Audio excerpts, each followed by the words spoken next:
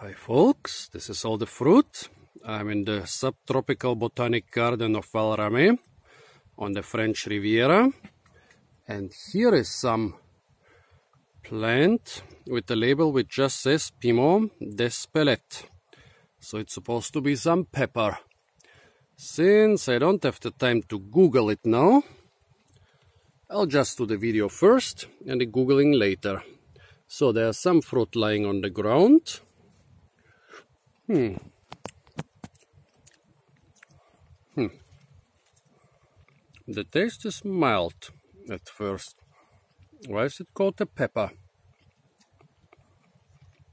It's really mild. Interesting. Well,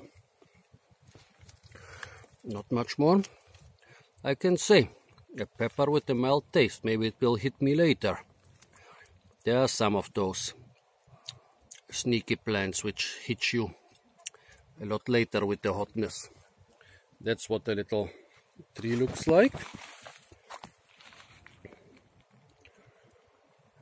Lots of little fruit on it, but funny. They're pretty mild to be called a pepper. Well, I'll Google the Latin name before I upload the video. So folks, this was the Piment d'Espelette from the beautiful botanic garden of Val Rahmeh on the French Riviera. Stay tuned for a lot more fruit videos from the beautiful garden of Val Rahmeh.